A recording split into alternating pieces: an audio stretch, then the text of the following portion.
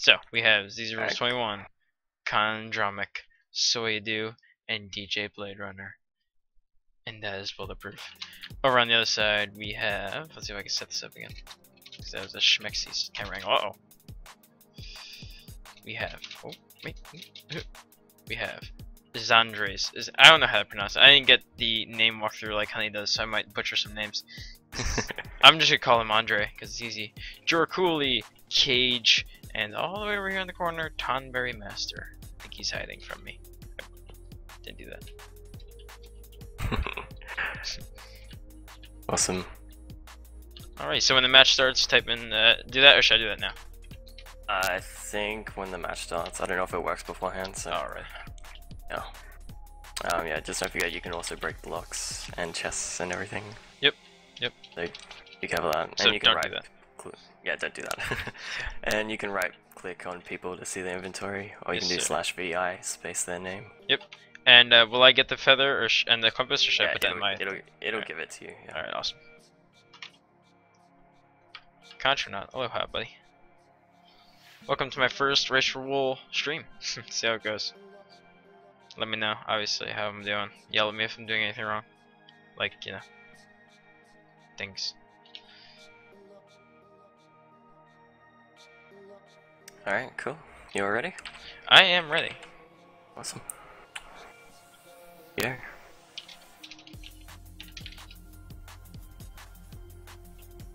Alright, so obviously in the beginning of the match we're going to see a rush to get some supplies, get some uh, blocks, and get over that little tiny gap.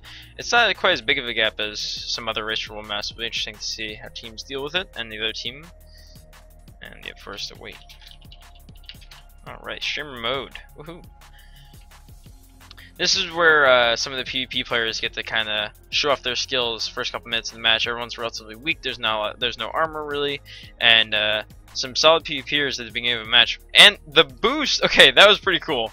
Uh, Tuss, I believe, yeah, Tuss is on left.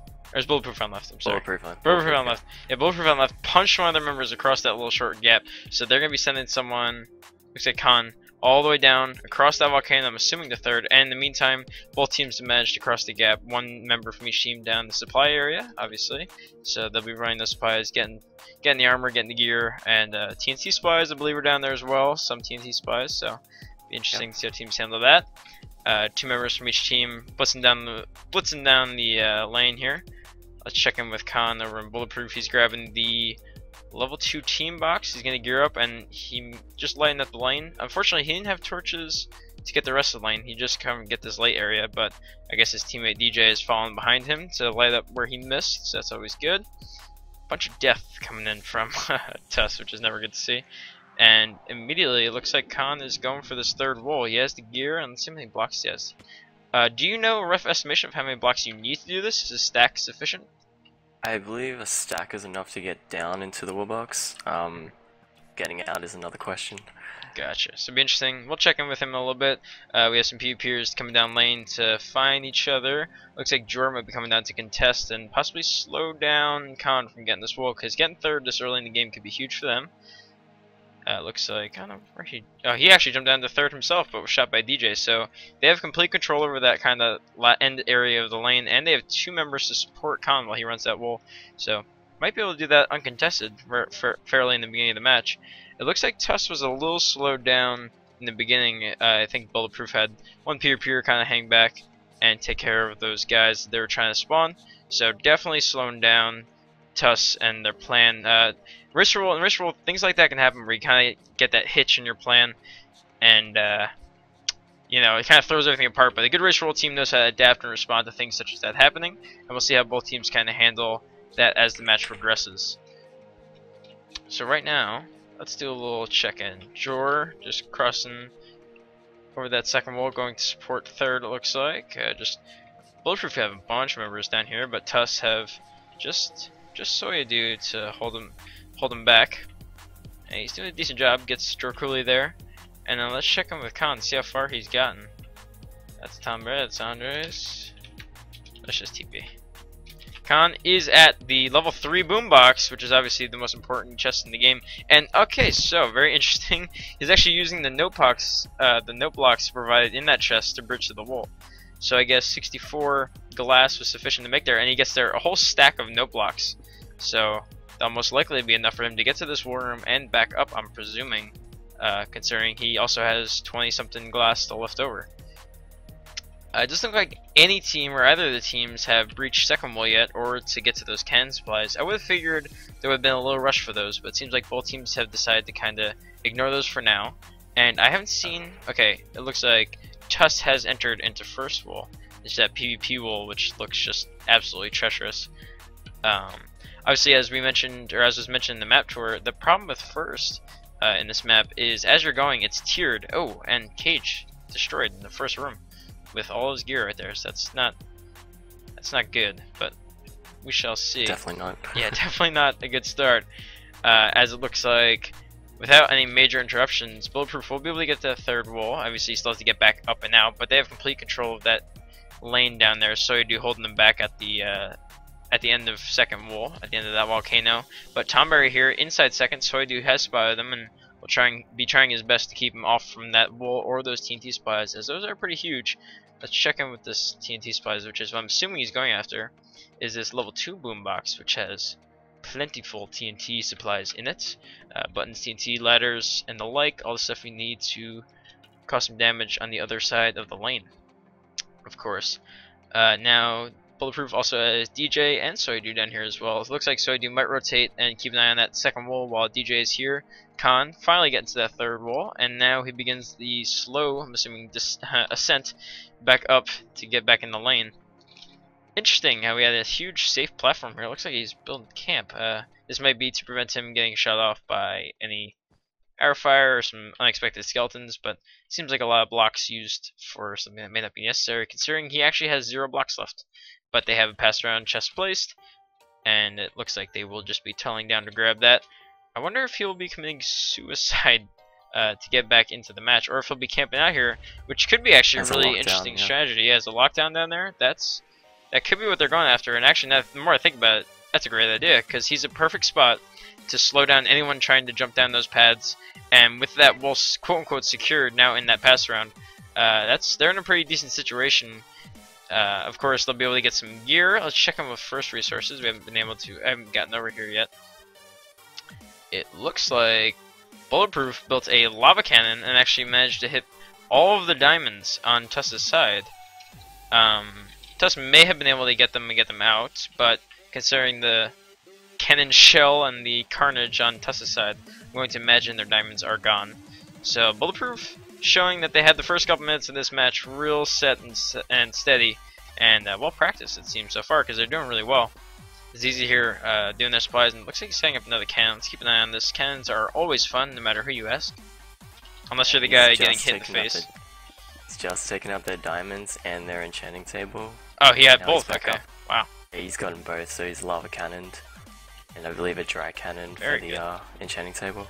Very cool. Complete denial here.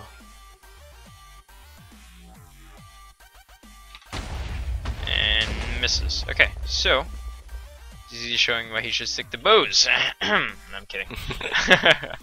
uh, let's check it. Looks like uh, TUS has one member in this first wall. Actually, he's escaping from first wall right now. It looks like looks like he just got all supplies and is trying to survive as long as possible.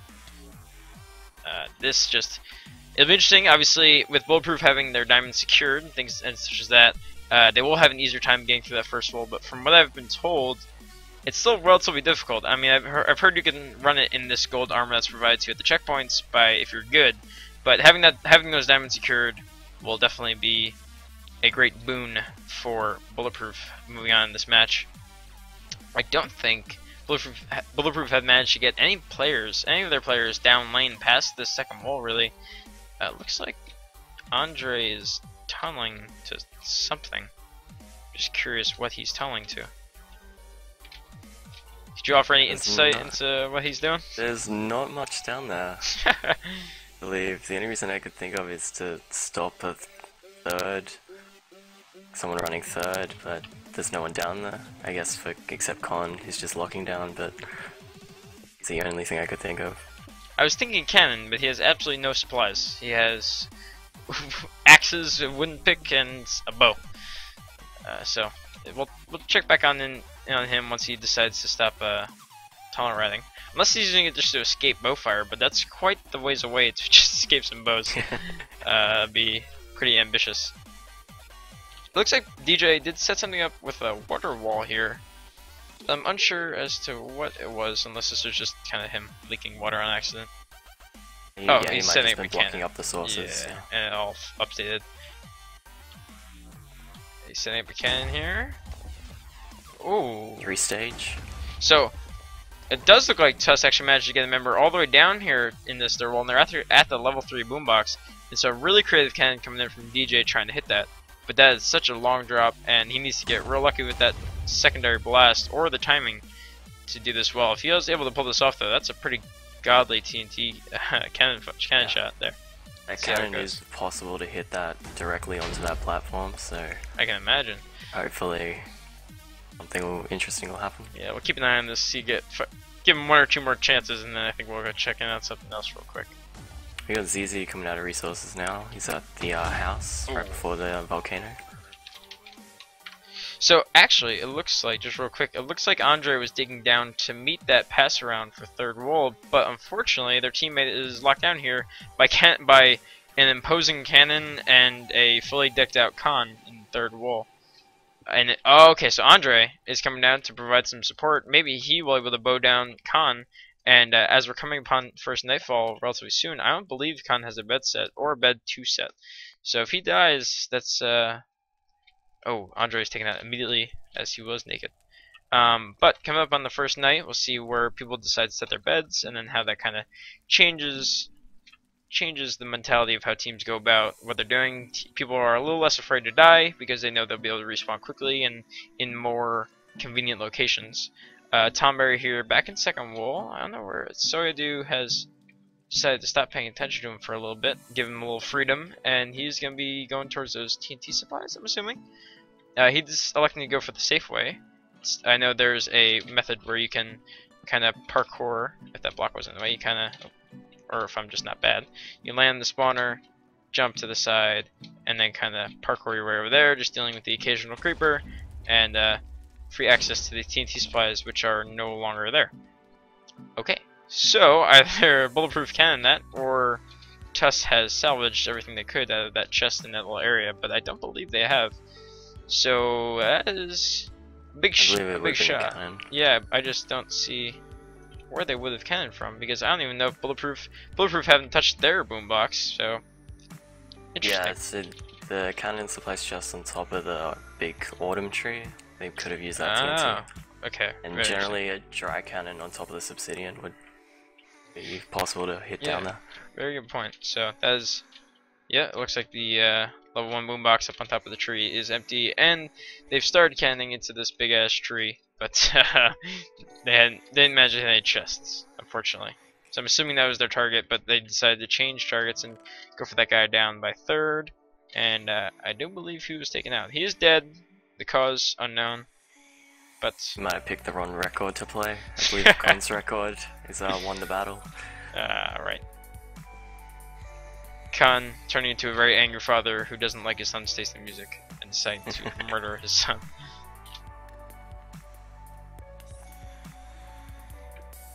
And ZZ's gone enchanting now. He's in full enchanted iron.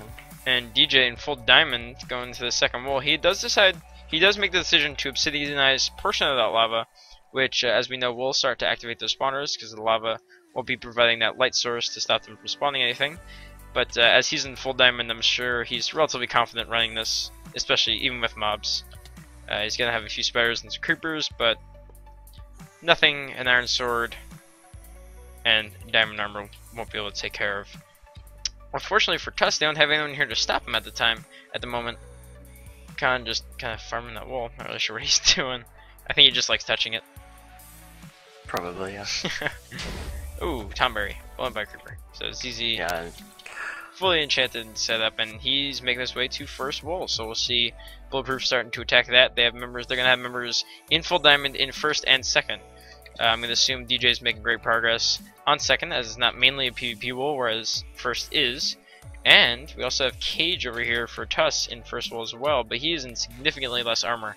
So uh, we'll see the race between Cage and ZZ at the moment. ZZ very much outgearing him, but we'll see how Cage managed manages to fare. And let's check in with DJ to see how far he's gotten. I'm assuming, yeah, he goes. He just decides to obsidianize. Yeah, he decides to obsidianize all that. He can deal with the mobs. He's strong. He's powerful. He knows it, and he's just running away with that wool. And uh, without any unforeseen interruptions, that should be second wool in the clear for uh, bulletproof there. So that's third and second. I don't believe, I don't know if they've gotten the pass around for third yet, but it is there, and Khan's there to prevent anyone from stopping that. Joe down from Tuss to meet him, but he's back in the same spot that um, who was down here before? Tom Green? Or who got stuck down here? Was it Joe Uh, before as well? Cooley, yeah. Yep. Back in the same hidey hole he was before, and Khan's still in the same platform he was using before. So Joe Yeah. really blaming it on the record. Uh, judging from the cobblestone near the pass around at third, I believe Bulletproof just got the pass around. I believe it was Soyadu picked it up. Alrighty. So I believe they have third, nice and safe now. So basically, ZZ once ZZ gets out to first, we're gonna see that victory monument run. ZZ actually managing to do some PvP while he's running first wolves, so he takes the time to stop, slow down, turn around, kill a cage, and go back to doing what he was doing. Cold-hearted, that's what I say. But that's what it takes to compete in Rift Wall here, especially on a map like this where it's relatively, uh, or at least from what I can tell, it's pretty highly PvP based with having first wall pretty open to PvP, and second wall being a very open to PvP, and third also very easily stopped with PvP. So uh, strong PvP teams, I think, will be able to kind of showcase their talents on a map such as this, and I think that's what we're seeing.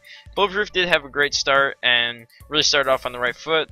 They managed to shut down a lot of what Tuss was planning on doing, which I'm assuming was you know resources, getting the third quickly, and I guess that lockdown right in the first couple minutes is what in Race for can win games, and it has several times before, and I'm sure it will continue to in this tournament, as it's just kind of a rerun theme that happens in Race for matches. It seems those first couple minutes are so vital to how teams do in the future of the match, but that does not mean comebacks are not not uh, impossible, but just very difficult depending on the map. Looks like ZZ backed off a little bit. He's gonna regen, and then he's gonna go head back down.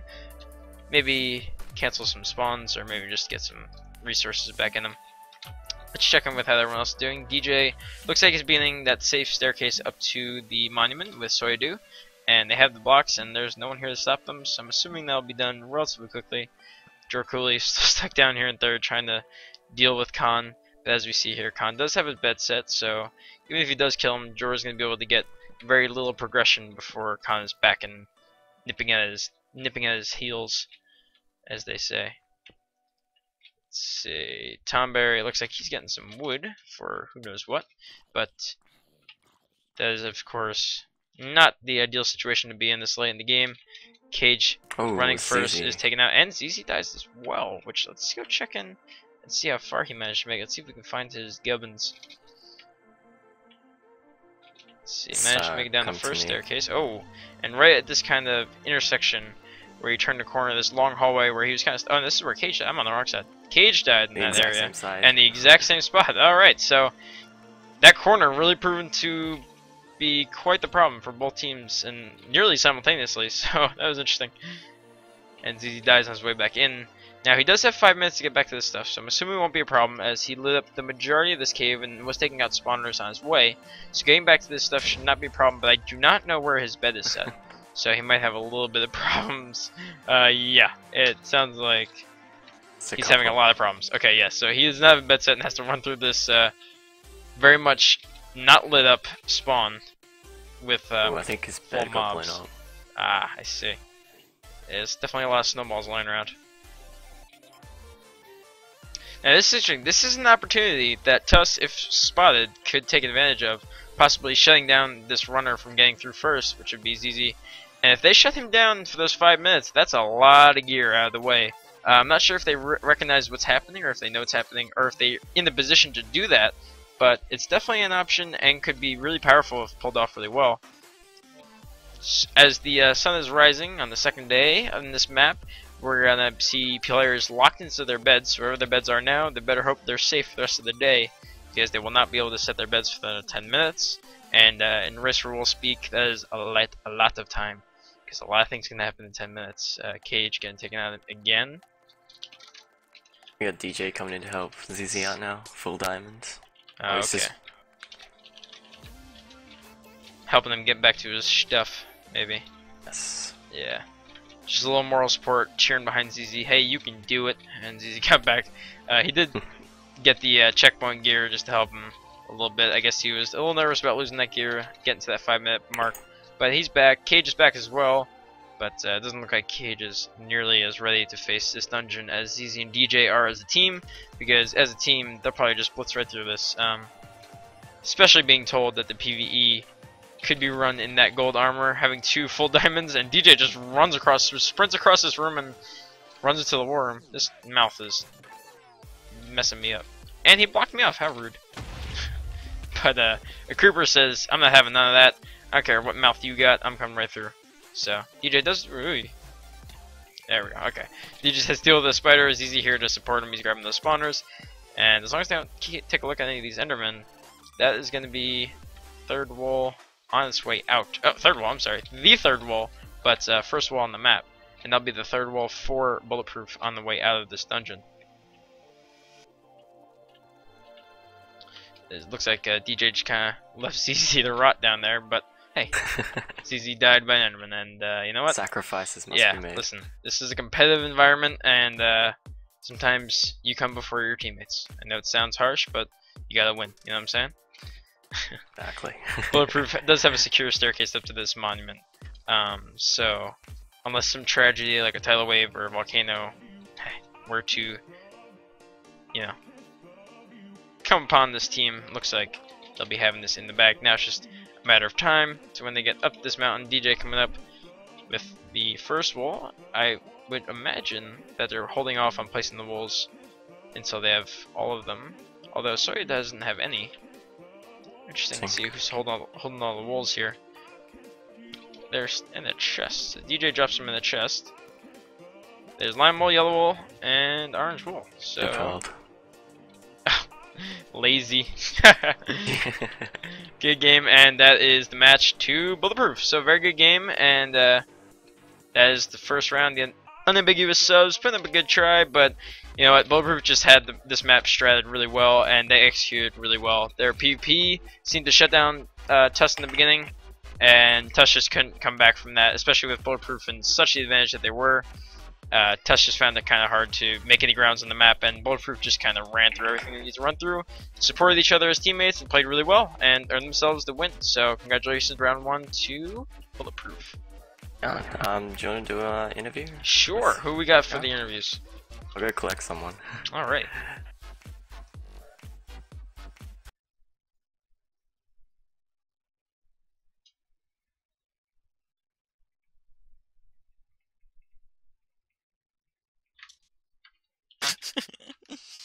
Khan, aloha. Good Hey, game. Parkway. Congratulations. Thank you. And uh, let's see who who Chairman is dragging by the feet, kicking and screaming into the channel to George. Alrighty. Sure from Tusk. I like music. Good Thank game, you. I everyone. like- I couldn't hear yours. Oh, should have got closer. I should have, but you wouldn't let me. But who knows? I might have. Alright, so good game, guys. Obviously, Bulletproof coming out with the win there. You guys played great. Now, I just want, the first question I had to think of for uh, Khan here would be Yeah. Do you guys think you executed your strategy to the T? Because I didn't see any Mm. falters in your strategy, really, except for maybe Uh, ZZ dying. I mean, do you yeah, think this is. ZZ died a little bit. Yeah. Other than that, it went really well. Like, Is basically a flawless really run? good Yeah, that. DJ got a really good run of. And Kid that third that third rush was something great to watch. That was really cool, especially the Yeah, utilization I- of that that I boom box. That was pretty that cool. quickly. Now, uh, Jor, in your opinion, what were you thinking once uh, you saw them in that? Once you saw Khan in that third wall? I mean, we didn't. We, we, we kind of were scrambling before the match because the person that was supposed to play went to dinner with his girlfriend. But um, when I saw him there, I was like, eh, whatever. I guess I'll sit here and wait for him to run out of arrows. And Ton said, yeah, I'm pretty much doing the same thing. And Kage was like, I hate mobs. So that was basically our entire game right there. Alright, so you know, not a lot of thought processing going into it. There it's basically just like whelp. Uh, I saw Andre come down and try to support, maybe you know, get a couple arrows into Which those kind of little rotations is really cool to watch teams kind of set up and do. Unfortunately, it didn't work out for you guys, but if it did, that would have been really cool. Now, I do have another question. Uh, at one point, did you guys know that ZZ was running first, and did you realize when he died? Did you spot that? Oh yeah, entirely. But there was Okay. nothing we could do. There was nothing Yeah. we could do with that information. We were locked down on two other wolves, and Kage was having difficulty with first on his own. Yeah. The, I mean, if we could have done something with that, we probably would have been able to execute on it. But there was no, there was no chance. Yeah, definitely. I, I said the same thing. I said it might have been an opportunity for you guys, but unfortunately, you just weren't able to capitalize on it. Uh, I do want to say one thing, one more thing. Uh, I'm gonna apologize now because I called Kage Cage the entirety of the match because I was not told otherwise. Well, I mean, we, we, uh, I mean, we, we do occasionally call him the Rage Cage, so it's okay. so I'm still like half not wrong. Because I'm not gonna say right because I don't think I was right. I'm not wrong. I mean, technically you were you were wrong, but technically you weren't. So I think it's all good. All right, cool. I like my very vague description of being half not wrong. I like that. Yes. All right. Well, I think that about wraps up. Uh, what do you guys think for the future matches for round one? Do you have any advice going to the other teams for how they could prepare a little better for this map? Is there anything you guys noticed as you're stratting or during the match that you think some other teams could utilize or could do better? Anything you guys Uh, want to broadcast publicly to the other teams here? Don't play that map. No, I'm Solid kidding. advice. Uh, I'm, I'm kidding. Uh, basically, just just practice. There's not Yeah. much strategic depth into that map. I mean, we probably could have guessed everything Bulletproof was going to do to a T, and in fact, I nearly did. But it's not. It's all comes down to your execution. So just practice as hard Yeah. as you can. Uh, also be prepared to like not have everything go according to plan, because that map can have a lot of variance with it. Especially with all the mobs, I think uh, that can definitely Yeah. put a hitch in any plan. The one Yep. bad creeper spawn and kind of, oh, there goes Yeah, half our diamonds. Uh oh. Especially with your resources, yeah. Yeah, definitely. Well, I think that about wraps it up. It was a great first match. Uh, my first time streaming Art Race for Wool, and it was a good match to get myself started. So it was a lot of fun to watch, and thank y'all for playing, and congratulations to Bulletproof Yep. for your first first round win. Yep, good game. Yep. Good game, guys.